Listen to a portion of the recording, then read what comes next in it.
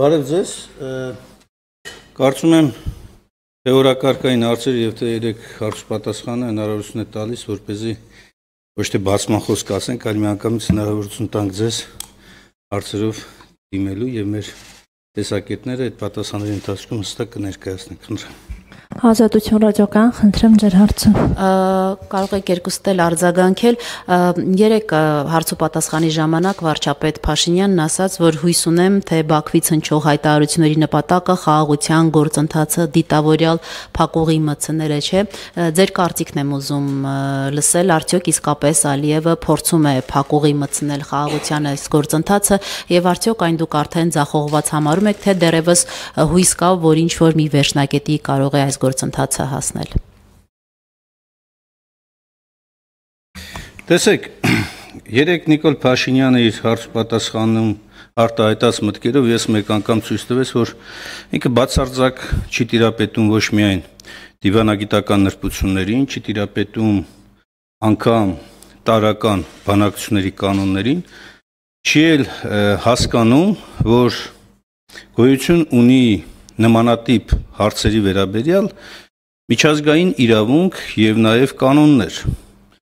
Երեք Նիկոլ Փաշինյանը ոչ մի բանակցային սկզբունքների մասին չխոսեց։ Եթե ուշադիր եղաք, ինքը թե դրանից առաջ եւ թե նաեւ երեք խոսում է այնպիսի տեխնիկական հարցերի մասին, որոնք Ալիևը հեշտությամբ կոտրում է եւ հեշտությամբ հակադարձում է իսկ հայկական կողմից չկա որևէ սկզբունքների շուրջ հստակ մոտեցում։ Երկու օրինակ բերեմ, որ ավելի ընկալելի լինի։ Տեսեք, միջազգային իրավունքի տեսակետից, այդ թվում նաև ԵՀԿ դեռ 2017 թվականին մշակված ղեկավար փաստաթղթերի հիման վրա սկզբունքներից կարևորագույններից մեկը հետեւյալն է, որ ինչ մոտեցումով ես դու մտնում բանակցությունների մեջ։ Ալիևը հայտարարում է այն ինչ իմ տիրապետության տակ է, իմն է, չէ՞։ Այս սկզբունքն է հայտարարում։ Եվ դրանով է հիմնավորում, որ օկուպացված տարածքներից ինքը զորքերը չի ուզում արտա հանի, այսպես ասած, դուրս բերի։ Նիկոլ Փաշինյանի կամ հայկական կողմի պատասխանը ո՞րն է դրան։ Ոչ մի բան, 0 Միջդեռ նույն միջազգային իրավունքի տեսակետից, եթե դու այդ հարցն ես, այդ մոտեցումն ես որտեղ գրում, ա առնվազն դու ընդհանրապես չպետք է խոսաս որևէ անկլավի մասին, եւ երկրորդ, եթե անգամ դա է հիմք ընդունվում եւ Նիկոլ Փաշինյանը թեթև ձեռամբ անգամ եթե բանակցային փաթեթ է մտել Ալմաթայի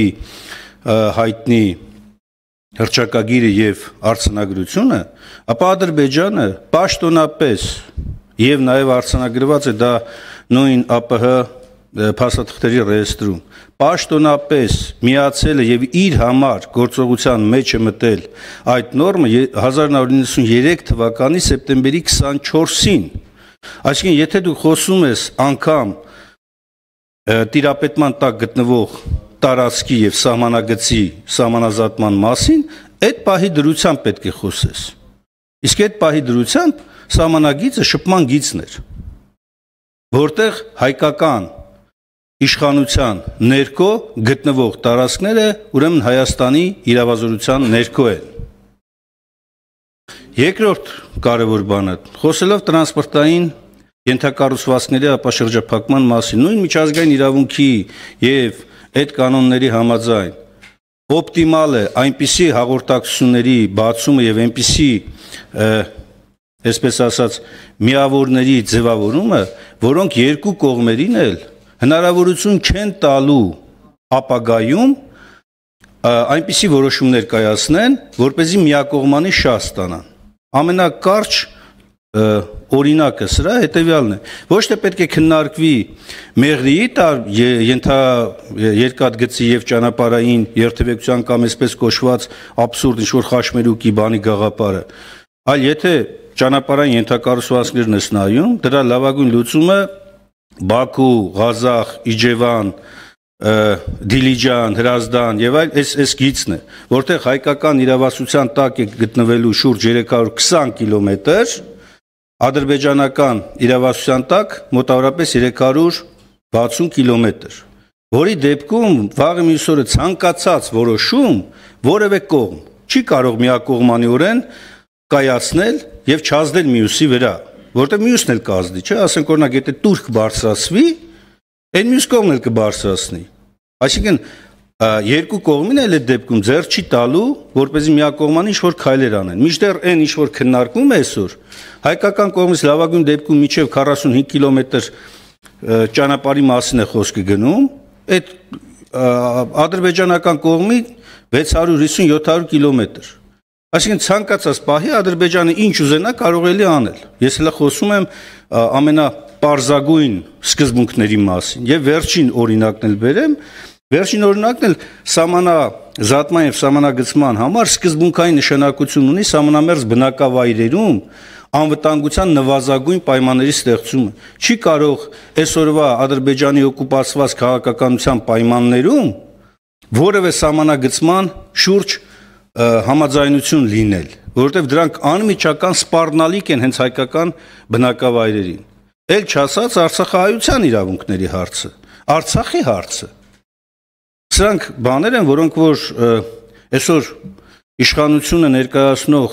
խմբակի կողմից Նիկոլ Փաշինյանի գլխավորությամբ բացարձակապես չեն արծարծվում։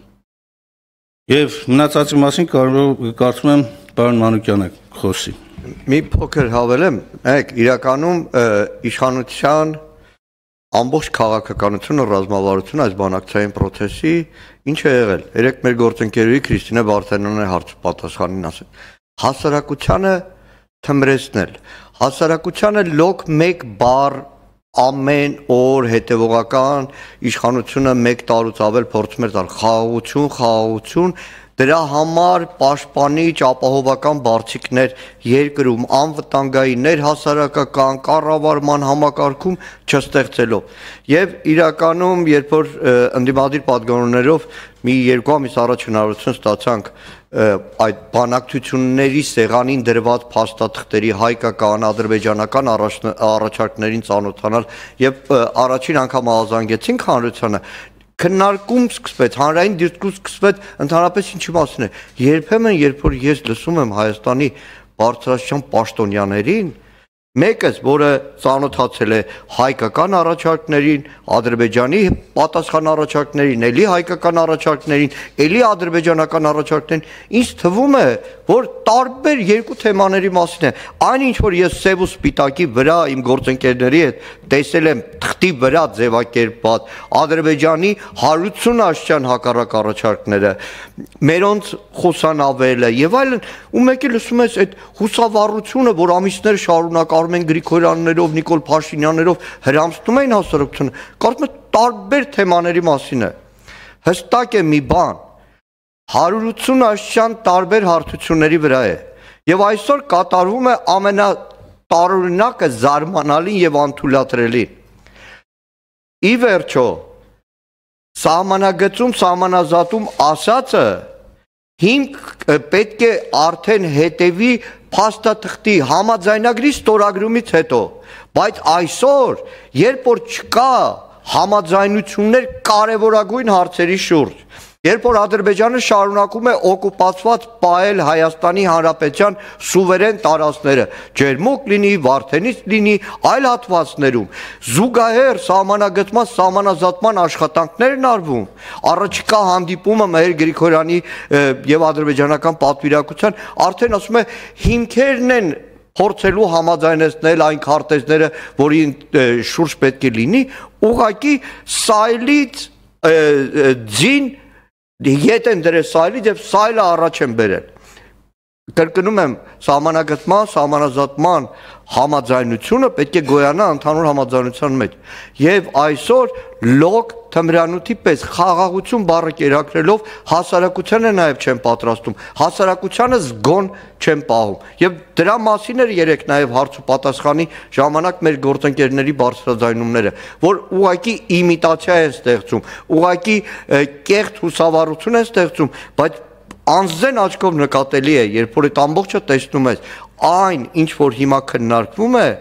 հայկական կողմը ունի հստակ դիրքորոշումներ եւ այն փաստաթուղթը, որը չգիտեմ էլ, որ մոտ ապագայում դժվար թե ստորագրվի, բայց սա ամբողջությամբ ադրբեջանական օրակարգն է, սա խաղաղություն չի բերում Հայաստանի ժողովրդին, մեր հասարակությանը, մեր երկրին եւ շատ ավելի վտանգավոր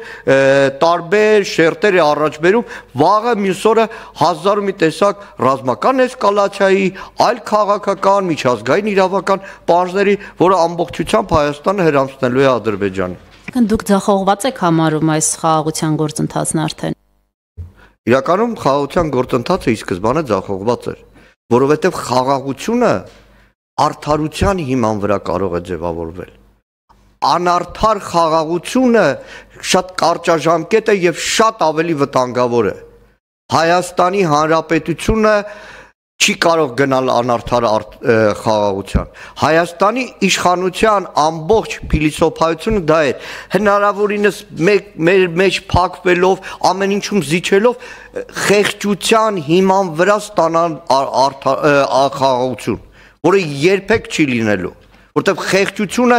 բերելու է նորանոր պահանջներ։ Դրա համար պատկերացումը հատիկ-հատիկ կետ առ կետ կարող ենք շարադրել։ Հայաստանը եւ Ադրբեջանը կարող են ունենալ համաձայնություն, խաղաղություն արդարության հիման վրա։ Երբ որ հարգվի Հայաստանի Հանրապետության շահերը, Հայաստանի Հանրապետության սուվերեն շահերը, Արցախայության շահերը, կետ առ կետ կարելի է շարադրել, որը այսօր սեղանի վրա չկա իրական։ Վերջո խաղաղության մասին խոսում է Նիկոլ Փաշինյանը հակառակ կողմից որևէ նման ոչ ցանկություն, ոչ հրաապարական խոսք չի հնչում, ավելին կարող եք դուք ինքներդ եւ մեր հանրությունը վկայակոչի Նիկոլ Փաշինյանի կողմից արտաբերված ականջահաճո որևէ նպատակ, որ այդ նպատակը իրականացվել է։ Որևէ կոնկրետ մեկ օրինակ բերվի Խոսքը գնում է Հայաստանի եւ Արցախի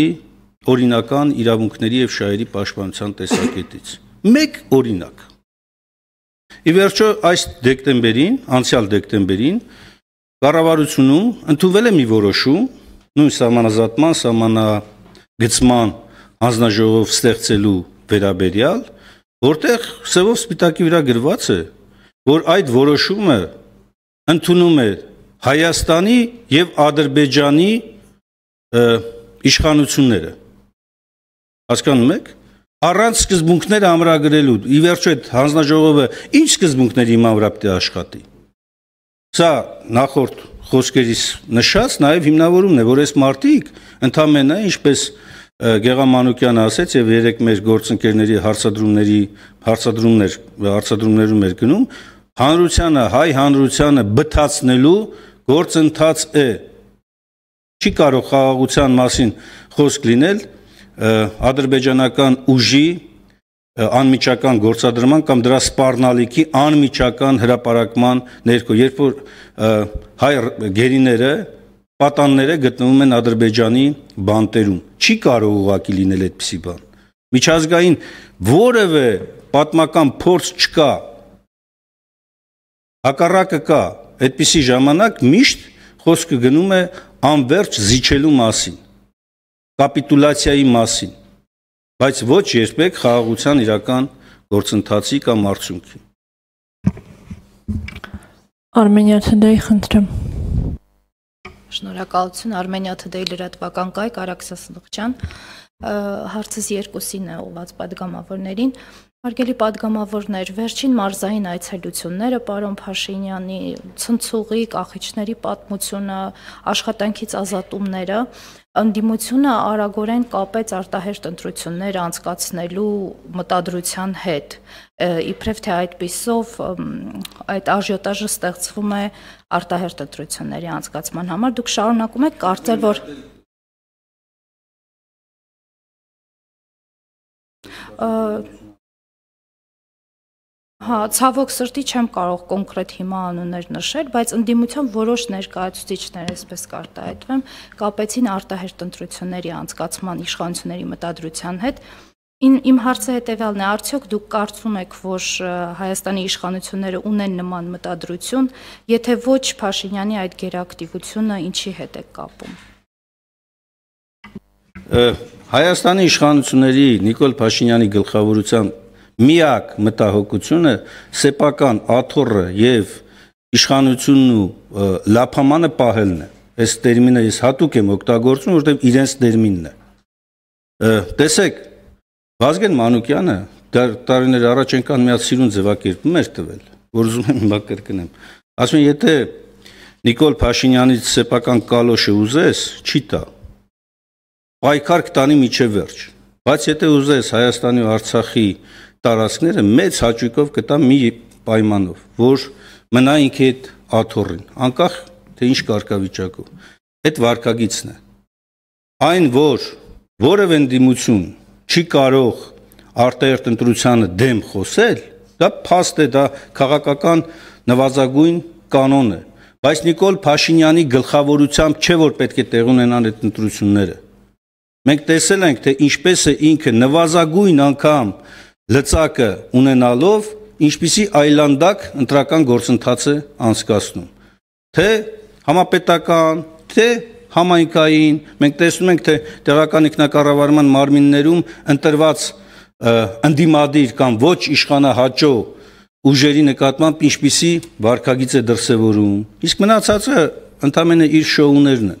Խնդրեմ։ Գործընկերներ, ես հիշում եմ ժամանակին երկար տարիներ Հայաստանում լրագրողական համայնքում կար մրցանակաբաշխություն, թրաֆիկինգի դեմ պայքարի մրցանակաբաշխություններ բավականին լրագրողները ակտիվ էին։ Հիմա մարել է դա, բայց կարծում եմ այսօր աննախադեպ թրաֆիկինգի դեպքեր կան Հայաստանում։ Ազգային ժողովի ամբիոնից ներքին գործերի նախարարին ասել են, որ այդպես տասնյակ հարյուրավոր, հազարավոր ոստիկաններ են աշխատանքային թրաֆիկի ենթարկում, երբ որ օրենք շրջանցելով մենակ Փաշինյանի կամքով անօրինականություն են անում։ Թրաֆիկի խայտարակ երևույթ է Հայաստանի Հանրապետության կառավարության վիճակը։ Երբ որ Նիկոլ Փաշինյանի այս եվրոպեական կամակորության արդյունքում մարդկանց մի վարկյանում պաշտոնից են ազատում, պետական համակարգի քայքայման լավագույն օրինակն է, որը շատ ավելի խորքային լրագրողական համայնքը կարող էր վերուցել եւ հասարակությանը խորքային գլոբալ անվտանգային հարցերից ուշադրությունը շեղել, դարձնել մի հատ ցնցող, դարձնել մի հատ կախիչ։ Խորհուրդ կտամ շատ ավելի այս հարցերին ուշադրություն դարձնել, բայց որպես խմբագիր նախքին։ Եթե բրիֆինգները վերջանան, խնդրում եմ նայեք որպես խորհրդարանական լրագրողներ ձեր արխիվները 2020 թվական ճիշտ այսօրը ազգային ժողովում ճիշտ ձեր կողքը դալիճում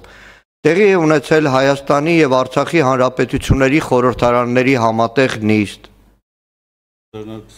20 թվական նախագահությունում նստած են եղել այն ժամանակ Արցախի խորհրդարանի նախագահ Աշոտ Ղուլյանը եւ Արարատ Միրզոյանը 21 թվականից 20 թվականից հետո հակառակ ընդդիմության բոլոր պնդումներին այդպես էլ այսօրվա ազգային ժողովի ղեկավարությունը մի անգամ Արցախի եւ Հայաստանի խորհրդարանական համատեղ հանրաժողովի համատեղ նիստ այդպես էլ վախեցավ հրավիրել հիշեք 20 թվականի հունվարի 18 մենք ուր էինք ինչ թեմաներով ինչ թեզերով եւ այսօր ուր ենք հասել, որ վախենում են Արցախ բառն անգամ օգտագործել։ Կարճ մի լրացում անեմ, տեսեք, իշխանության վարկագիծը իշխանական տարբեր, հա, պետական տարբեր պաշտոններ զավթելու այս մոլուցքը, քաղաքական հետապնդումները, քաղ բանտարկյալների արկայությունը, Արմեն Աշոտյան, Մամիկոն Ասլանյան եւ բազմաթիվ, հա, այս ցույց է տալիս այս իշխանության իրական կերպարը, քանի դեռ իրենք այս վարկագծի մեջ են, իրենք անընդհատ շոուներ են անելու, որ เป զի հիմնական հարցերից հասարակությանը շեղեն։ Շնորհակալություն։ Շնորհակալություն, ժամանակը սպառված է։ բացել։ Հարգելի լրագրողներ, սպառված է ժամանակը։